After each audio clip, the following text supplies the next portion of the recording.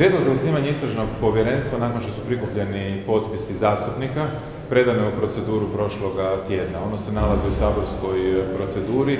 Znate, ako vladajući ne žele o tome raspravljati, nakon što prođe 60 dana, oporba će kao što ovaj tjedan to čini za pitanje povjerenstva za odlučivanje o sukobu interesa, to napraviti i za pitanje istražnog povjerenstva. Međutim, s obzirom na brojne istupe zastupnika HDZ-a prošlog tjedna, kad smo raspravljali o tome koje su ovlasti ili nisu antikorupcijskog vijeća, jer su nas upućivali da bi se to trebalo rješavati putem istražnog povjerenstva, ja sam duboko uvjeren da će zastupnici HDZ-a prihvatiti da se to istražno povjerenstvo osnuje. A prije nego što počnu kritizirati kao što to svaki put čine, da nam ovaj zarez nije na pravom mjestu ili da smo negdje fulali sa e, velikim i malim slovom, pozivam ih da ako imaju primjedbe, te primjedbe upute.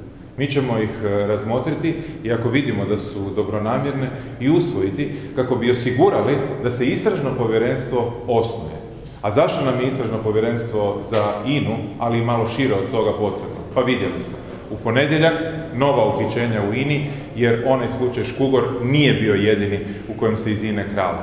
Ali isto tako, jučer smo dobili informaciju da uskokovi istražitelji ulaze i druga trgovačka društva u vlasništvu Republike Hrvatske, ovaj put u HEP. Dakle, očito je da slučaj Škugor i svih koji su s njime povezani nije usamljeni primjer.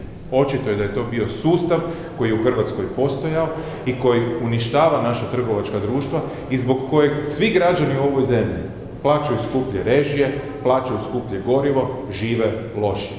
Dakle, korupcija koja se događa u režiji HDZ-a ima direktne posljedice za standard hrvatskih građana. I tome treba reći dosta. A prvi korak da se tome kaže dosta je da se istraži sve ali apsolutno sve što bi moglo imati veze sa tom korupcijom. U onom trenutku kada to preuzmu organi gonjenja, naravno, u tom trenutku Sabor mora reći dosta, ali dok god to nisu preuzeli, na nama je da o tome govorimo, na nama je da to istražujemo.